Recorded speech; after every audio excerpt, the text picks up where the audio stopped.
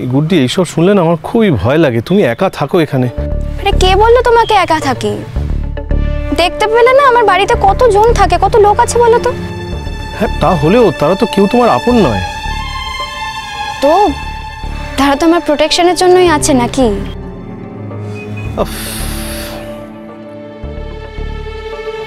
আচ্ছা একটা কাজ করি।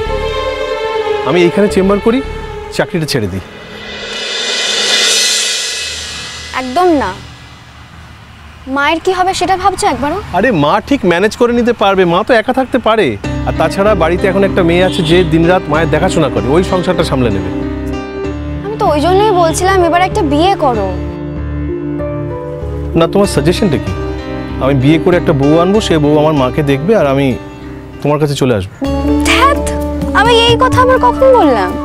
না তুমি বিয়ে করার কথাটা এমন পজিশনে বললে যে আমার আমার তাই মনে হলো। বাজে কথা বলো না তো। তুমি নিজেও খুব ভালো করে জানো আমি ঠিক কি চাই। হ্যাঁ হ্যাঁ হ্যাঁ। আমি জানি তুমি চাও আমি যাতে সুখে শান্তিতে সংসার করি আমি যাতে ভালো থাকি। তোমার সঙ্গে আমার যোগাযোগ থাকবে দূর থেকে। একটা হাই হ্যালো হবে মাঝে সাঝে দূর থেকে। তোমাকে আমি কখনো বার্থডে উইশ করতে পারি সেটাও দূর থেকে। আমি দূরে থাকব যাতে আমি রেগে গেলেও তোমার কোনো ক্ষতি না হয় তাই তো? এ কি তুমি আসছো কেন? হাসবো না তো কি করব?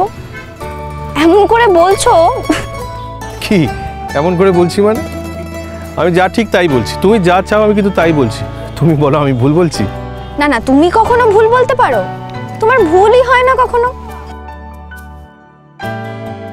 না গো। আমার জীবনটাই ভুলে ভরা।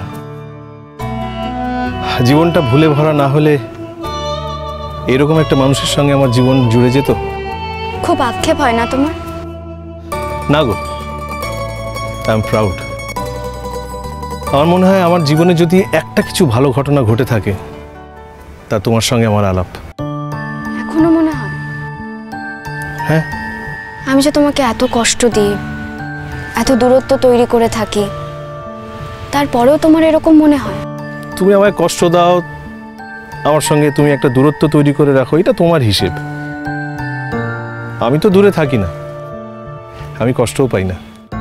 অদ্ভুত মানুষ তুমি ইনকারেজেবল তা বলতে পারো খানিকটা তাই। চলো এবার এগোনো যাক। চলো।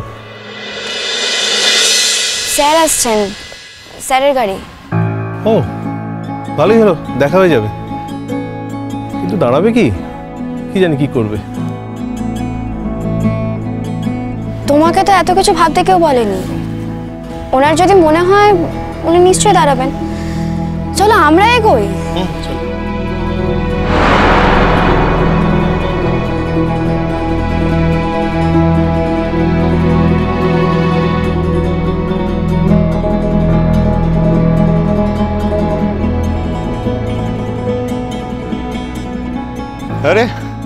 হোয়াট আ প্লেজেন্ট সারপ্রাইজ হ্যাঁ তাই বলছিলাম ওকে যে একবার তোমার সঙ্গে দেখা করব।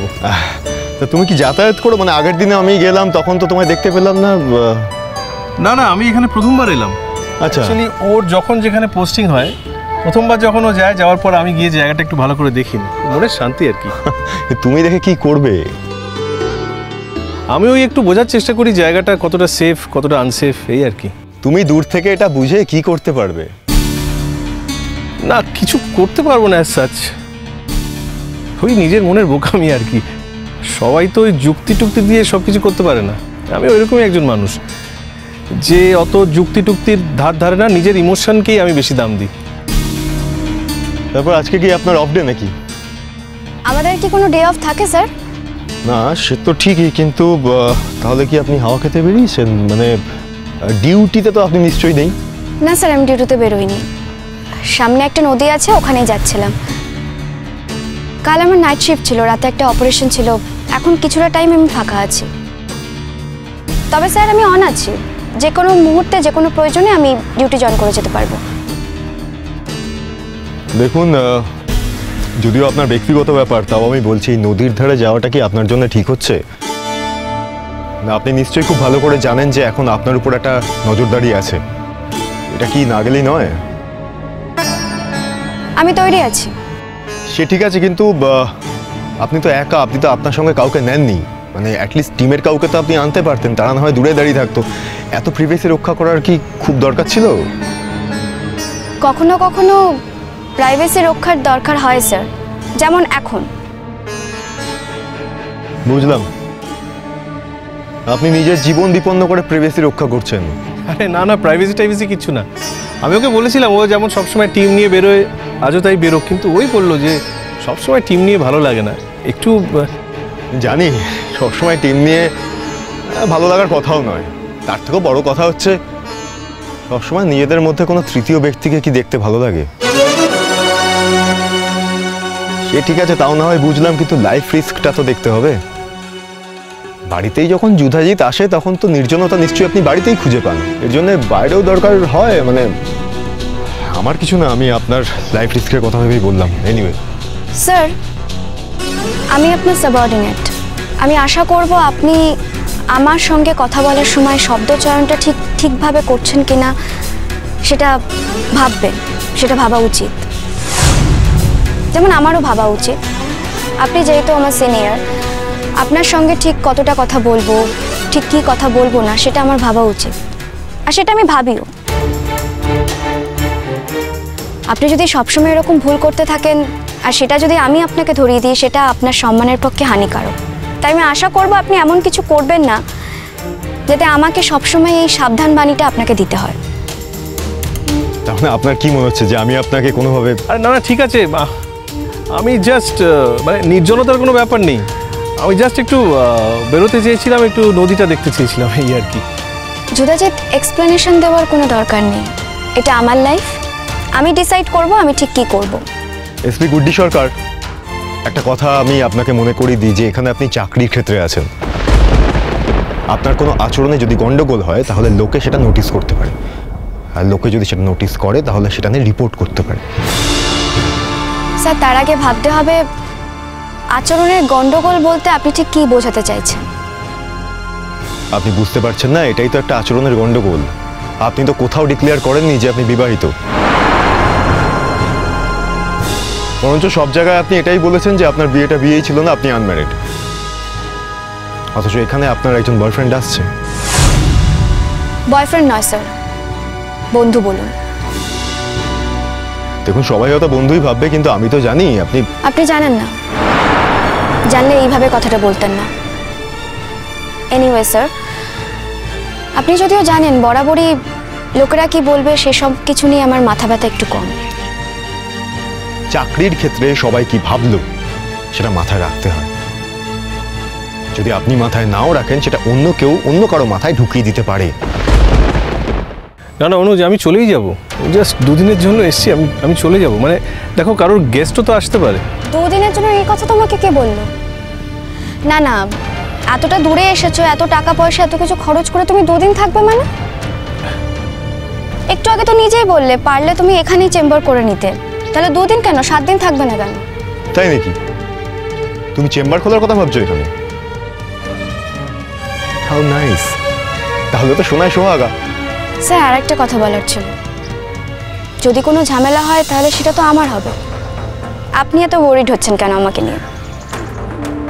আমি জানি না যে আপনি আমার কথোপকথনকে ঠিক কীভাবে নিচ্ছেন। তাও আমি আপনাকে বলছি যে এরকম কোনো বিষয় তৈরি হলে রিপোর্টটা কিন্তু আমার কাছেই আসবে। তখন আমাকে কিন্তু এটা বাধ্য হয়ে ফরওয়ার্ড করতে হবে সো বি অ্যালার্ট স্যার, আপনি এসব নিয়ে ভাববেন না। আমি আপনাকে একটা কথা বলতে পারি। ডিফেন্ড করার জন্য যা যা করণীয় আমি তাই তাই করব। তবে আজকের দিন পর্যন্ত উনি আমার বন্ধু, এটাই জানি। আমার বন্ধু আমার বাড়িতে এসেছে। সেক্ষেত্রে অফিসিয়াল কোনো রেস্ট্রিকশন নেই। যদিও লিঙ্গ বৈষম্য আছে বলে ওনাকে ঘিরে আমার সঙ্গে কোনো স্ক্যান্ডেল তৈরি হতেই পারে।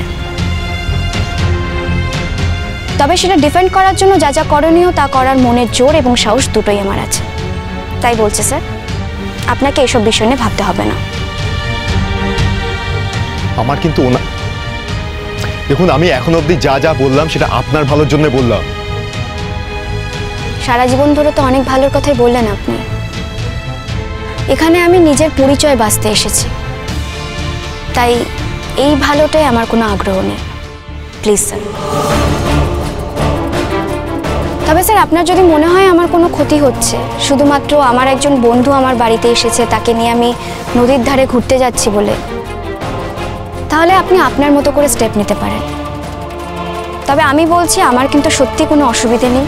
কোনো আপত্তি নেই। তুমি বোধহয় ভুল বুঝলে। যুদাজাত আমি তো তোমাকে আগেই বললাম। ভুল ঠিক এটা অ্যানালিসিস করার তো কোনো প্রয়োজন নেই। কেন করছ? You are my guest sir একটা কথা আপনাকে বলছি। আমার গেস্টের সামনে দাঁড়িয়ে আপনি যে কথাগুলো বললেন সেটা না বললে আমি খুশি হতাম। হুম বুঝতে পারছি।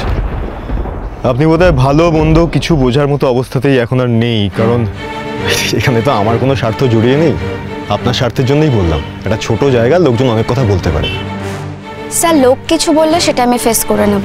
আর ব্যাপারটা তো ছোট জায়গা কিংবা বড় জায়গার নয়। বিষয়টা হলো মানুষের মনে। মানুষের মনটা তো ছোট জায়গা কিংবা বড় জায়গার উপর নির্ভর করে না, স্যার। সবার আগে তো আপনি এই কথাটা বললেন। আপনার মনে এরকম ধরনের কোনো কথা এসেছে বলেই আপনি বললেন। যাই হোক আমি এই বিষয় নিয়ে আর কোনো কথা বলতে চাই না। আমি আশা করব আপনি আমার কথাগুলো বুঝতে পেরেছেন sir. Sir by the way ও কেমন আছে? মানে আপনার বেবি কেমন আছে? কি করবেন আপনি জেনে সেটা? তো আপনার কাছে আসার জন্য ছটপট করছে। কিন্তু স্যার বাড়ির সবাই ওর কাছে আছে। বিশেষ করে মা আছে। আমি আবারও একই কথা বলব। মা থাকা সত্ত্বেও যদি একটা বাচ্চা অন্য কারোর কাছে আসার জন্য ছটপট করে সেটা তো তার মায়ের জন্য সম্মানজনক নয়। তার মারও এটাতে ভালো লাগার কথা নয় স্যার। আপনি তো জিজ্ঞেস করলেন।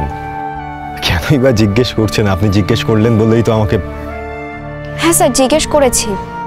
কারণ এটা তো আমি জানতেই পারি। ও একটা সাংঘাতিক ট্রমার ভেতর দিয়ে গেছে। এখন সুস্থ হতে ওর কিছুটা সময় লাগবে।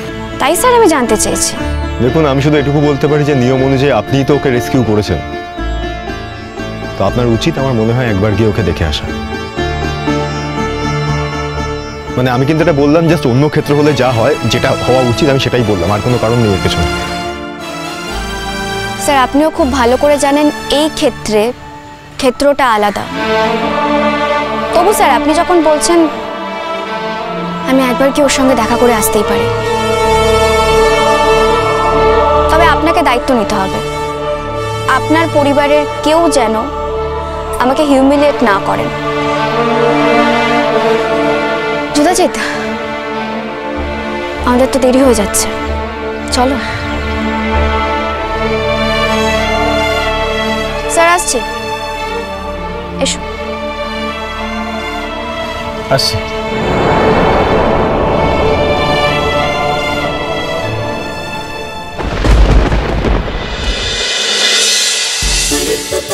Good D. সোম থেকে রবি প্রতিদিন বিকেল সাড়ে পাঁচটায়। স্টার জলসায় ও ডিজনি প্লাস হটস্টারে।